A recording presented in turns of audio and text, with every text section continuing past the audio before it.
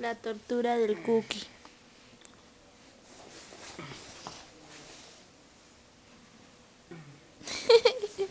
Parece un estropajo. Uy, que...